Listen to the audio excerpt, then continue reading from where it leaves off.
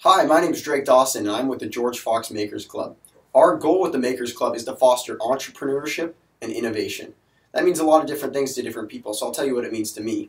To me, innovation just means coming up with creative solutions to difficult problems. And entrepreneurship is simply putting those ideas into practice.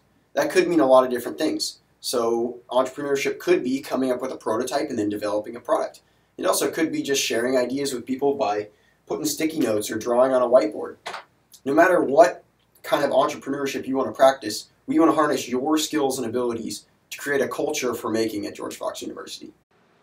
Hi, my name is Thomas Noel, and I'm here to tell you about how you can get involved in innovation and entrepreneurship here on the George Fox campus. Come join us each Friday night at the George Fox Makers Club meeting, a place where you can come and enjoy a time where you can become equipped with the skills that you need to make your ideas come to life with others who are passionate about making.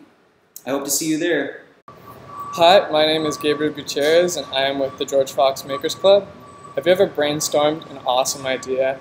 If you want to make it a reality, in the description below is a link to the resources available to you.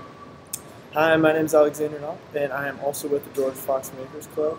I just want you to know that there are people in the business department that want to meet with you, work with you, and help incubate your ideas to completion.